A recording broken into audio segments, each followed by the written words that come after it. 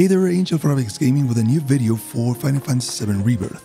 There are 8 bundles of refurbished materials that you need to find for Johnny in the Saga of the Seaside Inn side quest. I thought this was easier than it actually is, so if you're having trouble finding all of the bundles, here are all of the map locations so you can go and get them.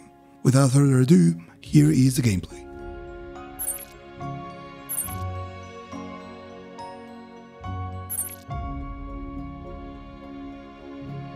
Be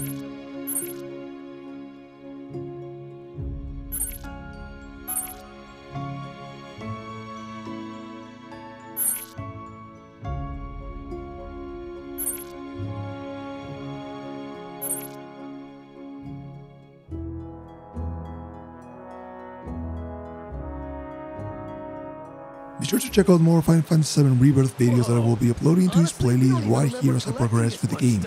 But for now, I hope this was useful, thank you for watching, and keep enjoying the game. I guess we better get this haul back to our palace, kinda sorta by the sea. Which means our work here is done, right? Well, since you asked.